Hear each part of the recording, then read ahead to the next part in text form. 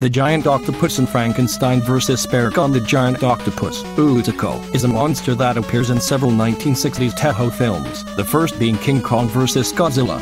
Appearance A giant octopus is simply a gigantic dark colored octopus with yellow eyes and small black pupils.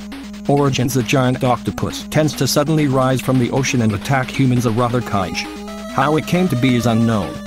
History Showa era, King Kong vs. Godzilla, the giant octopus came ashore on Faro Island in search of the soma berry juice produced by the natives. The octopus attacked the villagers that tried to fight it off before King Kong arrived and attacked it. The giant octopus jumped on Kong's face, but Kong threw it off and began pelting it with rocks. The giant octopus eventually retreated back to the ocean. Frankenstein vs. Baragon The giant octopus appeared in an alternate ending for Frankenstein vs. Baragon, where it crawled ashore just after Frankenstein defeated Baragon.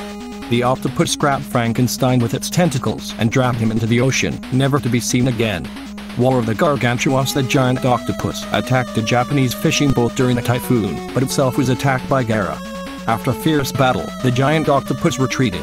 Abilities Tentacles The giant octopus tentacles are very strong and can smash buildings or even drop kaiju like King Kong or Gaira down with ease. The suction cups on its tentacles are capable of sticking to Kong's face and allowing the octopus to try and crush Kong's head. Amphibians The giant octopus possesses surprising mobility and prowess on land as well as underwater, allowing it to take on both land and sea monsters. Weaknesses The giant octopus does not possess very many unique or overpowering attacks and mostly relies on its tentacles to fight. If an opponent gains the advantage over the giant octopus, it is usually quick to retreat. Trivia special effects director Eiji Tsuburaya's original vision for a giant monster movie in 1954 was about a giant octopus. After Godzilla was decided upon for the film, Tsuburaya later created a giant octopus cage for King Kong vs. Godzilla. In King Kong vs. Godzilla, the giant octopus was portrayed by several live octopi and a larger puppet when fighting Kong.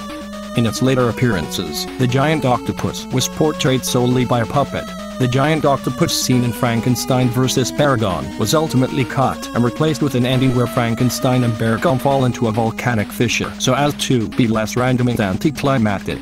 Every monster the giant octopus fights is primate in origin. The giant octopus is often called Oodako by fans, meaning big octopus in Japanese. Its official Japanese name is Daidako, which literally translates to giant octopus.